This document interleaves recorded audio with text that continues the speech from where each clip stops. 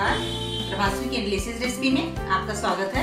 और आज हम बनाएँगे वेजिटेबल्स रोल जो खाने में बहुत टेस्टी होता है और हेल्दी भी होता है।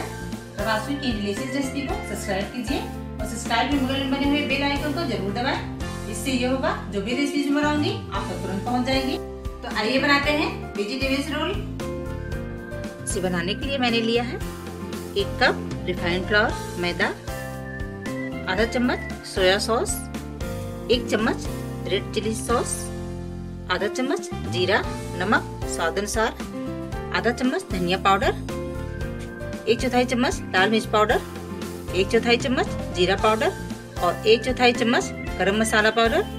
चार से पाँच पिंच मैंने हल्दी ले लिया है और सब्जियों में मैंने लिया है। एक गाजर मैंने इसे ग्रेट करके रख लिया है। एक शिमला मिर्च, इसे भी मैंने ग्रेट करके रख लिया है।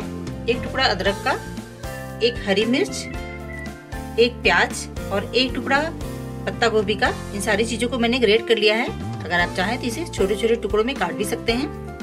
दो आलू, उबली हुई आलू है, मैंने इसे छील कर और मैश करके रख लिया है। एक बड़ा चम्मच तेल और एक चम्मच घी, ये देसी घी है।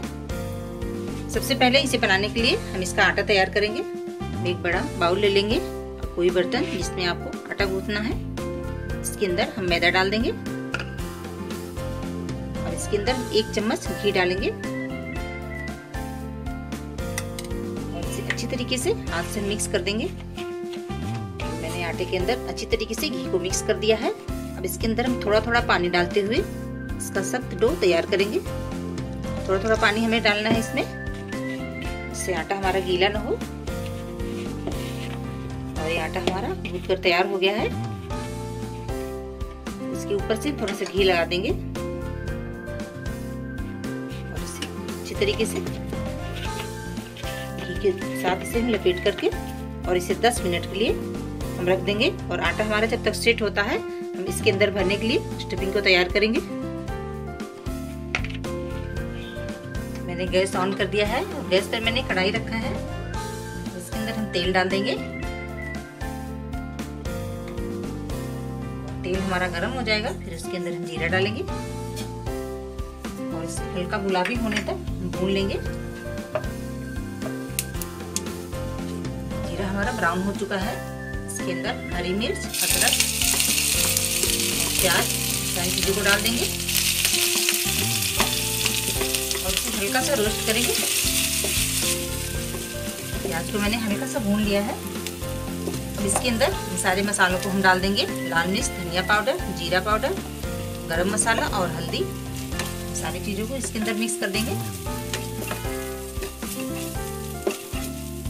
और इसे हल्का सा भून जाने के बाद हम इसके अंदर सारी सब्जियों को डालेंगे। सब्जियों को हमें पकाना नहीं है हल्का सा रोस्ट करना है।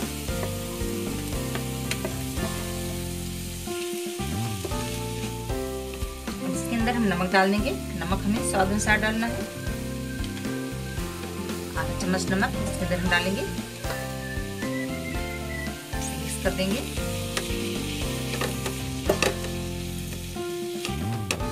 इसके अंदर हम सोया सॉस डाल देंगे।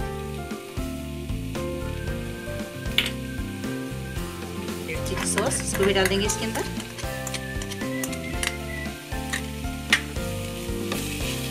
अच्छी तरीके से मिक्स करेंगे। इसके अंदर उबले हुए और मैश किए हुए आलू को भी हम डालेंगे। मिला देंगे। बस एक मिनट के लिए सारी चीज़ों को हम मिलाते हुए फ्राई कर लेंगे। एक मिनट तक मैंने सब्जियों को अच्छी तरीके से फ्राई कर लिया है। अब हम गैस को बंद कर देंगे और इसे ठंडा होने देंगे। दस मिनट बाद हम आटे को चेक करेंगे और इसे अच्छी तरीके से उसे हम मसल लेंगे। आटा हमारा इस तरीके से तैयार है। इसमें से थोड़ा सा आटा हम तोड़ेंगे। इसकी छोटी छोटी लोइयाँ बनाएँगे। इस तरीके की। मैंने सारी लोइयाँ तोड़कर तैयार कर ली है। अब इसे हम बेलेंगे। बेलने के लिए एक लोई को हम उठाएँगे। इसे गोल करेंगे। इसे हल्का सा दबा लेंगे। तले पे हल्का सा घी लगाएँगे। और इसे हम पतला बेल लेंगे।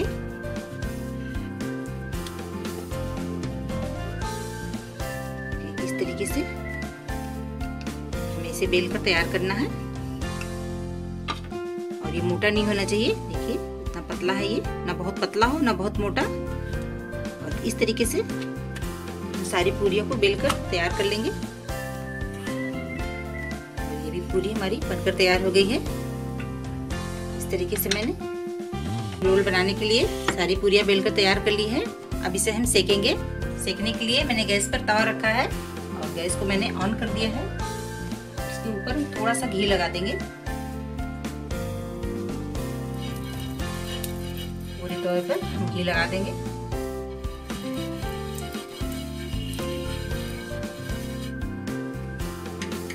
इसके ऊपर एक पूरी हम डाल देंगे।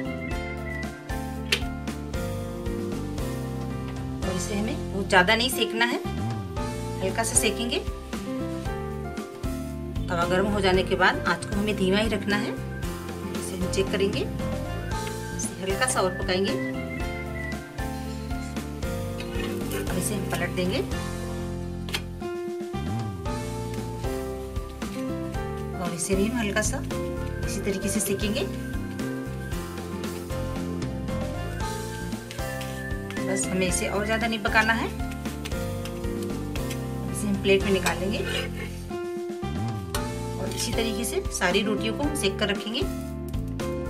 तवे पर हल्का सा घी लगाएँगे।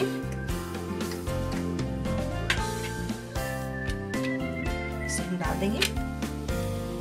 और उसी तरीके से इसे भी हम सेक कर तैयार कर लेंगे। इसे भी हम निकाल तरीके से सारी रोटियाँ मैंने सेककर तैयार कर ली है। अब इसके अंदर हम स्टफिंग को भरेंगे। ये जो मैंने सारी सब्ज़ियाँ और आलू को फ्राई करके तैयार किया है, इसके अंदर सब्ज़ी आप अपने मनपसंद डाल सकते हैं। मैंने आलू डाला है, अगर आपको आलू ना पसंद हो तो मत डालिए। आलू बच्चे ज़्यादा पसंद करते हैं।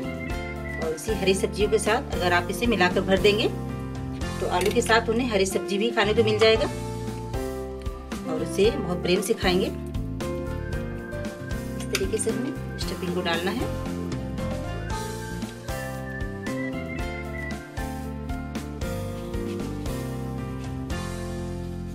इस तरीके से इसे रोल करना है। साइड से इसे हल्का सा हम मोड़ देंगे और दूसरी साइड से भी इसे हम मोड़ेंगे। इसका रोल बना लेंगे। तरीके से। और इस तरीके के सारे रोल हम बनाकर तैयार कर लेंगे।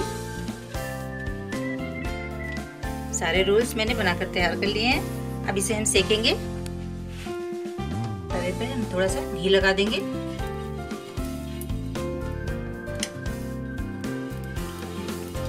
घी लगाने के बाद हम सारे रोल को तवे पर रख देंगे।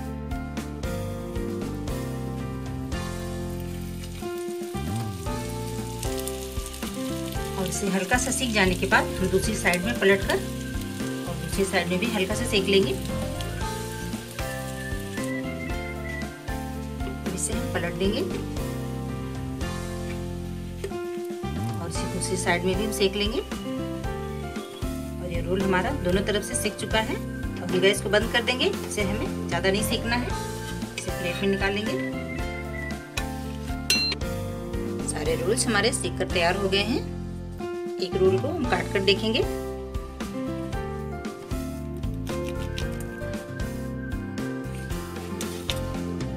देखिए इस तरीके से इसके अंदर कितनी अच्छी लग रही है स्टफिंग और ये खाने में भी बहुत टेस्टी लगता है। आप इसे ज़रूर ट्राई कीजिए। आप सुबह के नाश्ते में, बच्चों को टिफ़िन में, फिर शाम के टाइम जब आपकी इच्छा हो, इसे बनाकर खा सकते हैं।